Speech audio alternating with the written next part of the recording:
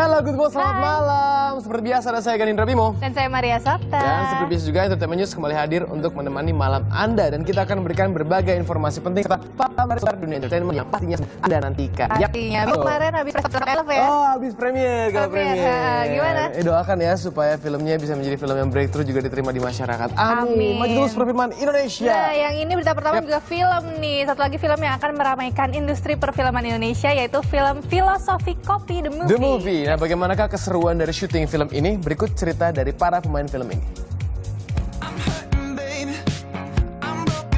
Setelah meraih sukses menjadi sutradara, lewat film Cahaya dari Timur Beta Maluku, Angga Dimas Sasongko kembali menyutradarai film berjudul Filosofi Kopi The Movie. Good People, film ini merupakan cerita adaptasi dari novel karya Dewi Sari yaitu Filosofi yang dirilis pada tahun 2006 lalu.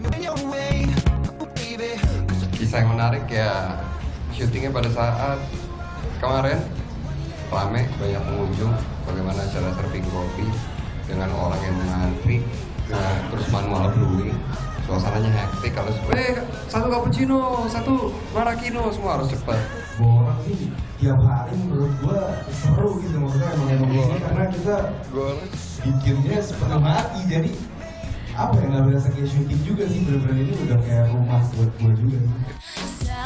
Berperan sebagai band yang merupakan seorang barista, ternyata membuat Iko Deko memiliki nilai sendiri tentang kopi dan acting tersebut. Oh, saya kita fokus saya jelas juga banyak kok bisa temukan dirimu Setelah saya Beta Maluku mampu film ini juga nanti meraih banyak sekali penghargaan. Film Karena dari sama, mainnya Hmm. sama juga ya. Iya, ya. mudah-mudahan dapat berprestasi lagi. Apalagi kemarin pers- persiapannya juga udah total Oh, banget banget. sampai bikin kopi, belajar bikin kopi, jadi jadi barista barista, ya. beneran kan. Luar Dan biasa. coba. Pokoknya kita lihat nanti akan seperti apa hasilnya. Tapi kalau tadi ada filosofi kopi dan